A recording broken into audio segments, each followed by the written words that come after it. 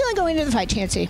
Oh, I feel good. You know, the hardest battle was getting the weight down. Now I got the weight down. I get to eat, put some fuel back in my body. I'm going to be big. I'm going to be strong, and I'm going to take it to him Saturday.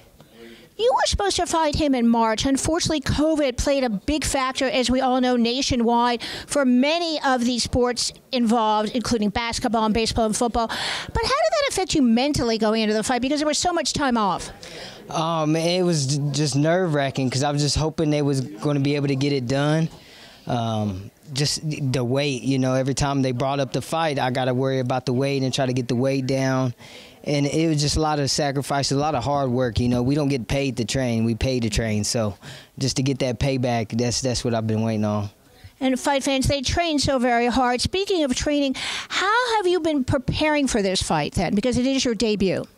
Oh, I've been training at the Via Boxing Club in Wichita, Kansas. You know, they're kind of rivals with Nico's gym anyway. So it's just perfect fit, you know. And, uh, you know, they actually got a picture of him at our gym, you know, because they kind of idolize him too. He's a Wichita hero. But they all kind of box like him and they got that little swagger. They're all long and lanky. So it was just a perfect place for me to train just for him. So. Stylistically, how do you think you match up with Nico? Oh, I think I'm I'm everything he dreads. You know, I'm a southpaw. I'm short. I can get underneath him. I can beat the body up. I mean, I just think I'm everything he dreads. So. We are fighting tomorrow night in Salina, Kansas, but you were just up the street in Wichita. Do you expect to have a big support from your fan base? Oh yeah, I got a lot of family, and they all promised to come out, and it's gonna be fun. You know, I hope uh, they make a lot of noise for me to be the first for me for to have an audience there. So it'd be great. It's probably too early to ask you this, but I always like to find out from fighters that are new to the BKFC family as well. Have you thought about who you might want to fight next? Oh, I haven't really thought about it, but I'll take all comers. You know, all I know how to do is say yes. So if they give me a name, and I'll say yeah. You know. Before we go today, is there anything you'd like to add, sir?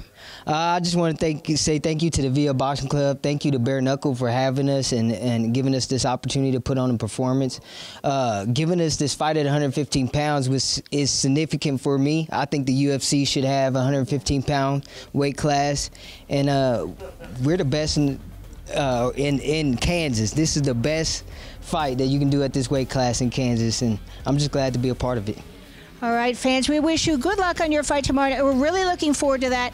And fight fans, if you haven't downloaded it already, you need to download the BKTV app because there are some amazing cards going on tomorrow evening. And you really need to watch the fights. We need to make sure that Chancey gets a lot of fans in from from Kansas as well.